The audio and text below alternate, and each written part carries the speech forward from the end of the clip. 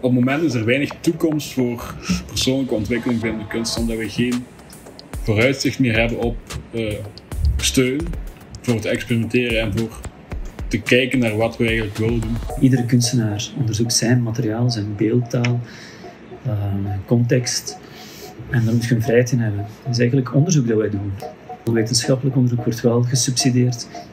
Ik vind dan ook dat beeldende kunsten ook moeten gesubsidieerd blijven. Want het werpt zijn vruchten ook af.